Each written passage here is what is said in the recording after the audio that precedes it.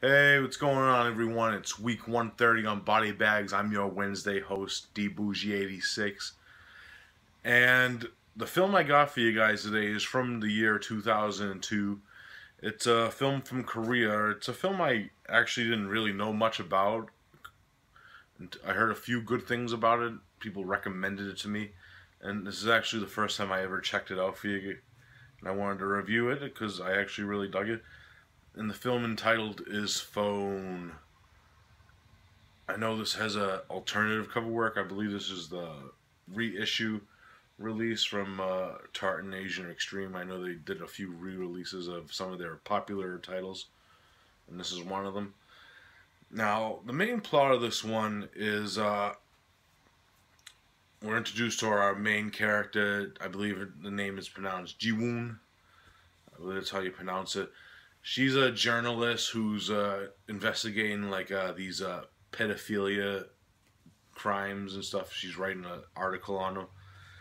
And what happens is she ends up getting this uh, mysterious phone calls, like threats and stuff from people about these articles that she's writing.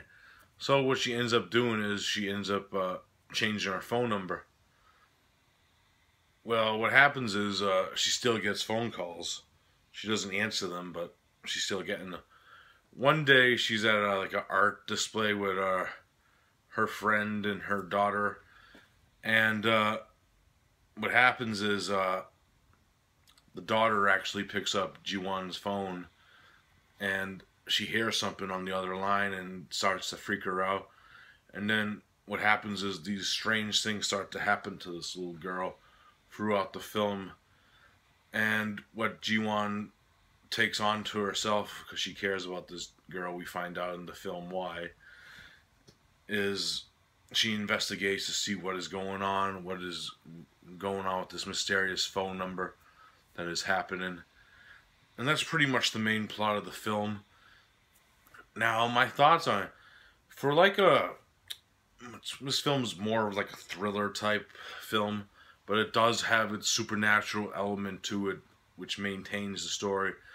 And the way they do it and, stuff is they really spin the twists of the supernatural into the story very well with these uh, flashback scenes and stuff of what's going on.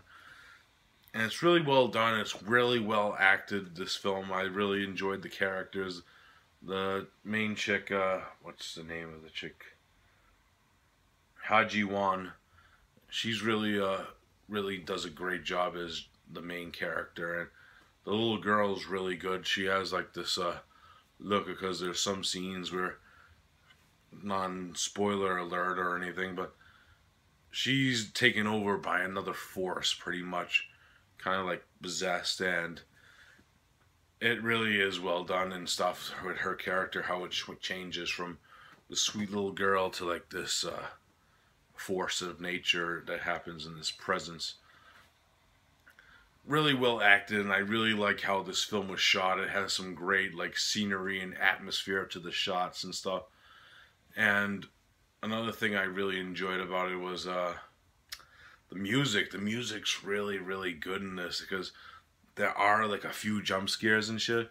And what really makes really, really well done jump scares work, in my opinion, is uh, very well done, like uh, music cues too, because most of the most memorable like jump scares ever are ones with those high like music tones. Like for example, like Halloween, that had some excellent like cues of music with its jump scares and stuff. And this really plays off with like the same thing. Not they're two totally different films. Don't get me wrong, but really well played and really well acted film, I have to say. If I had to rate the phone, I have to give it a solid 8.5 out of 10. It's a really well made, like, supernatural thriller that if you like those kind of films, especially ones from Korea, which I know a lot of people dig, really well done film, phone, 8.5 out of 10. Highly recommend it. Check it out. Wicked awesome.